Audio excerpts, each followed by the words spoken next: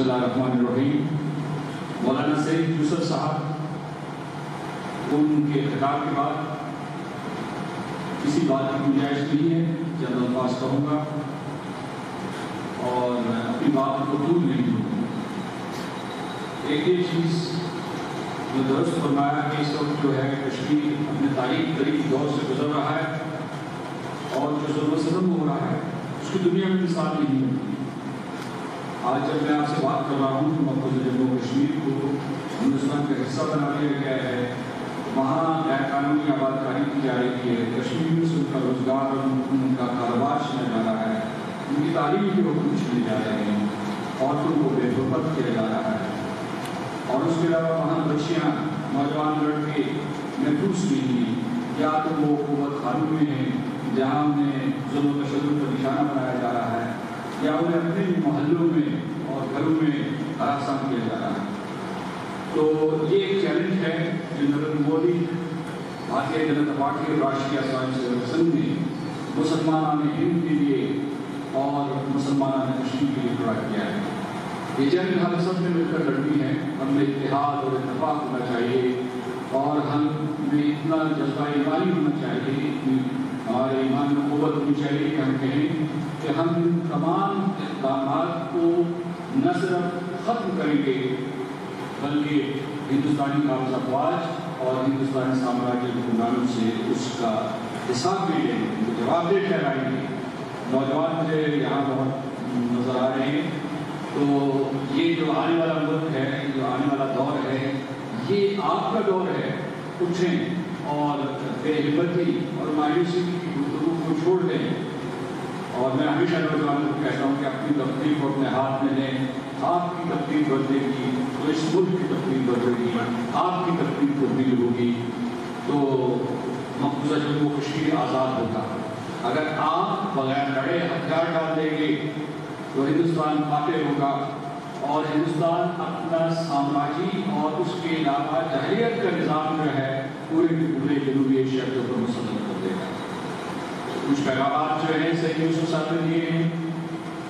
और मेरा ख्याल है कि आज़ाद कश्मीर के लोगों की तरफ़ से ये राय मुतफिक है। और मुझे इस बात का भी इल्म है कि जमीयतुल्मा इस्लाम और जमात इस्लामी जो ऐसी जमातें हैं, जो गिलगित बल्तिस्तान में वही उनका मौक़ है, जो कि आज़ाद कश्मीर के लोगों का मौक़ है। और ऑल पार्टी सोवियत कांग्रेस का भी वही मौक़ है। और एक जो मसला सामने आता है, वहाँ जो बाकी सियासी जमातें हैं कुतें हैं, उनका नुकता मुख्तलिफ़ तो मेरा ख्याल है कि अगर इस मसले को हल किया जा सकता है, जिसकी तरफ़ से यूसुफ साहब ने इशारा किया है तो सिर्फ़ मुकालमे के ज़रिए सियासी मुकालमे के ज़रिए से हल किया जा सकता है। ये कोई ऐसा फैसला नहीं है, या ऐसा फैसला नहीं होने वाला जिसे मुसलत किया जा रहा हो। ये मैं खुद बलूचिस्तान गया था और वहाँ उनकी जो वकला है, उनकी प्रेस है, उनकी सियासी जमातों के सरबराहों के साथ उनकी जो मुखलना है, उनके अरकार के साथ मेरा मुकालमा हुआ है, खुद का मुकालमा हुआ है। और मेरा ख्याल है यकीन सईद यूसुफ साहब जो है, वो इससे वाकिफ है। तो ये एक तारीखी लम्हा है और इस तारीखी लम्हे में मैं आप सब लोगों से यहाँ के बुलंदी के आवाम में मुझे ये कहना चाहता हूँ कि आप शहीदों और गाजियों की औलादे हैं। अगर आपने डोगरा फौज को भगा दिया था तो आप हिंदुस्तानी फौज को भगा देंगे। वक्त आएगा कि हम जो है, असली महाज में मुस्तैद होंगे। इस वक्त जो आपके पास महाज है, जो सियासी और सिफाती महाज है, इनको अलग अलग से समझने की कोशिश कीजिए। जिस किस्म के दबाव में आ गया देख और नमाज़ जुमा में, इसी किस्म के दबाव जो है जो को चौराह में होने चाहिए। इससे दस गुना बड़े होने चाहिए, तब दुनिया की आवाज़ सुनेगी कश्मीर के सिलसिले में तो सब लोगों से आकर मैं ये कहता हूँ कि और ये पैगाम मैंने कई जगह पर दोहराया है कि आप उम्मत मुस्लिमा हैं।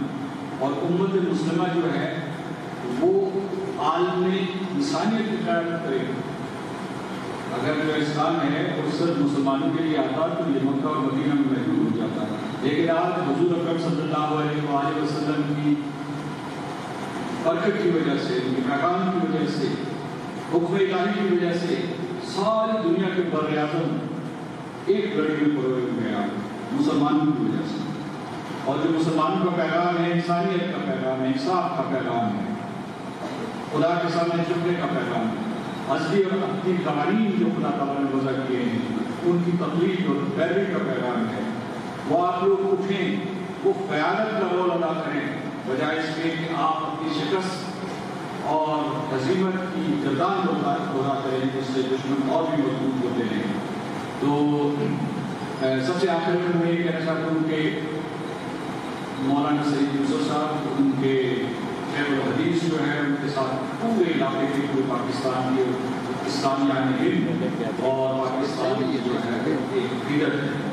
और ये जो जगह है बहुत मुकदस है। खुद जो है, सईद यूसुफ साहब जो है, माशाल्लाह उनको जो है जबान बयान के ऊपर तमाम दस्तरस हासिल है और उसके अलावा ये महफिल मौजूदगी की वजह से हमेशा हर महफिल को रौनक आ जाती है। आज मैं उस रौनक की वजह से मुस्तफ़ हुआ हूँ।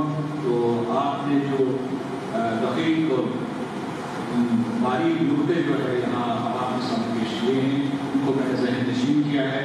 जो आपने मेरे ऊपर इतमाद का इजहार किया है, खुदा करे मैं उसको पूरा बहुत बहुत शुक्रिया।